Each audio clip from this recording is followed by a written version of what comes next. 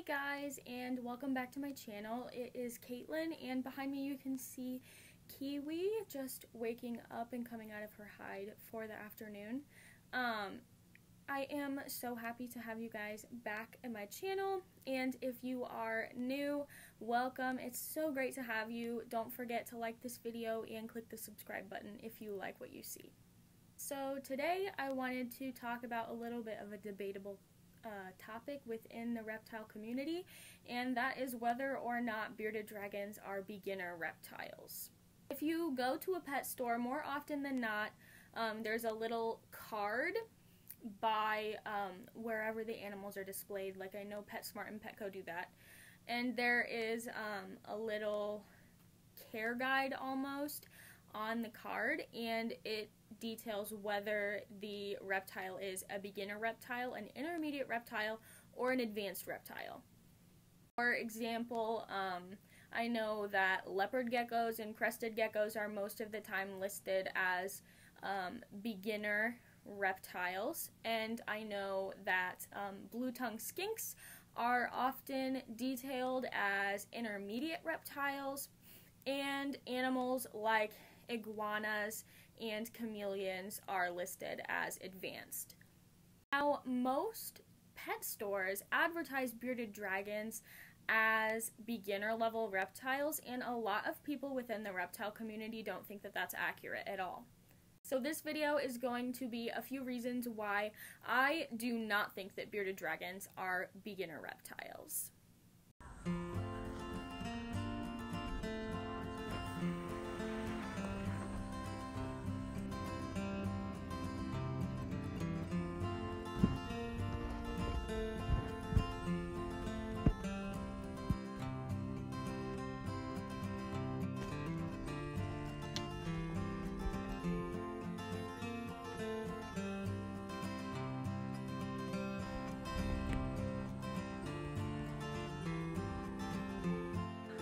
You're watching Caitlin's Critters.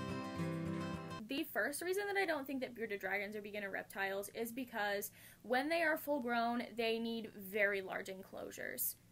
Most pet stores say that you only need a 40 gallon tank for a bearded dragon, which could not be further from the truth. Studies show that bearded dragons need an enclosure size of 4 feet by 2 feet by 2 feet when they are adults. That is roughly 120 gallons, and it will obviously take up a lot of space in your home. Um, beginner reptiles uh, normally have smaller tank sizes. Um, I know that leopard geckos can be kept in 40 gallon tanks for their entire lives, and that is pretty manageable. Kiwi's in a 40 gallon right now, and it's still pretty big, but a 4x2x2 is coming eventually for her. Um, once I get a few more paychecks in, I'm going to order one and it is going to take up the entire wall on this room. It's going to be massive. And that leads us into the second point. So, with a larger enclosure comes more maintenance, um, especially if you have a bioactive enclosure. Um, let me know in the comments if you know what a bioactive enclosure is. Um, and if you don't, let me know if you want a video on what bioactive enclosures are. Kiwi is not currently in a bioactive setup, but once I get her into her forever 4x2x2 tank, I will definitely be looking into making her tank bioactive. And with all of that being said, um, there is so much maintenance with a 4x2x2 tank because it's so big and you have to keep it clean. Obviously, you want to clean up poops and you want to make sure that your tank decorations are clean. You want to make sure that your plants are thriving. If you have live plants inside of your enclosure, you want to make sure that you're draining the drainage layer. If you have loose substrate and a bioactive enclosure, um, it can all just be so complicated. And even if you have fake plants or just rocks that are in your bearded dragon's enclosure, you have to clean them often because bearded dragons poop on literally everything. And so I have to give kiwis tank decor like a scalding hot shower like once a month just to make sure that everything is clean and nice for her. So the third point that I want to make is that bearded dragons do get kind of large. Um, an average bearded dragon can be between, um, I would say, 20 and 24 inches. So that is almost a two foot long lizard.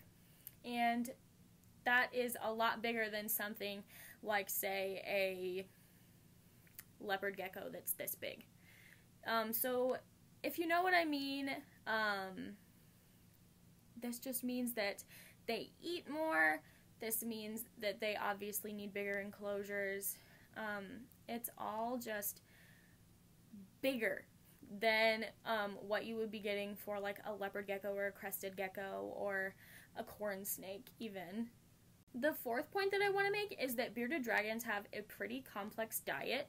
Um, so, as babies, you want to be feeding them 80% bugs and 20% greens. So, um, until your dragon turns about a year old, they will need to eat bugs every day to make sure that they are growing properly and getting the amounts of protein that they need. Adult bearded dragons should be getting bugs two to three times a week. Um, kiwi gets a staple insect two times a week. And um, every once in a while, I throw in a couple of mealworms or superworms, maybe even a hornworm every once in a while.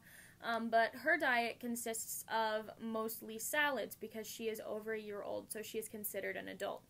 Um, so instead of 80% bugs and 20% greens, it switches. So adult bearded dragons eat 20% bugs and 80% greens. Shockingly enough, some of them are really picky eaters. Kiwi is a very picky eater. Um, there are only a few vegetables that I've found that she will eat. Um, you just really have to experiment and try to find what they like.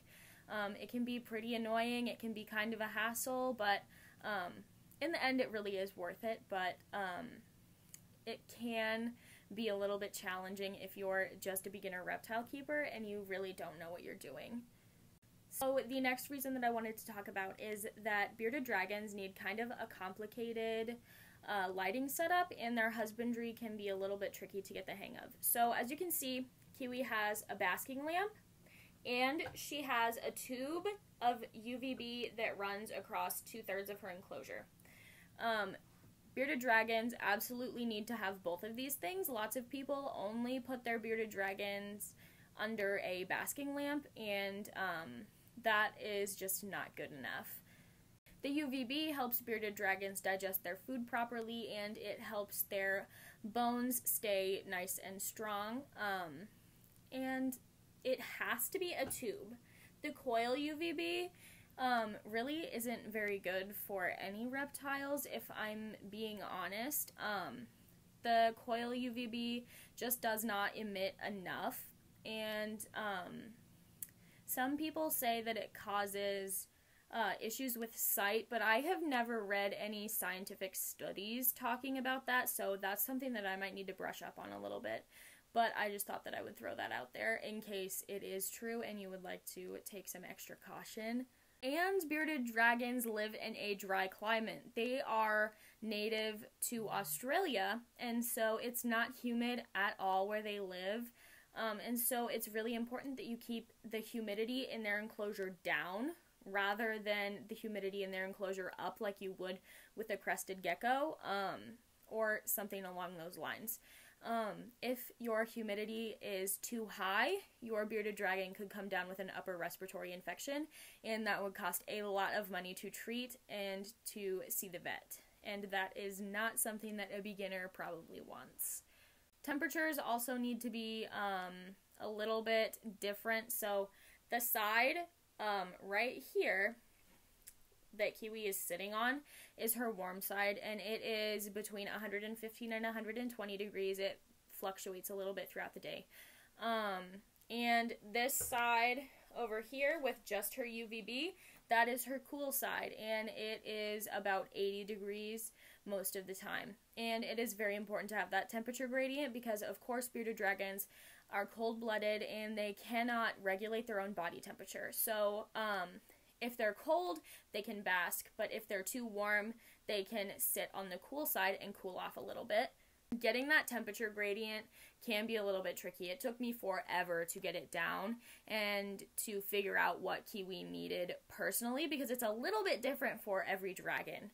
Um, some dragons will have digestive issues if it's not quite hot enough. Um, and that is definitely something that a beginner might not quite understand. Alright, so I think that is it for this video.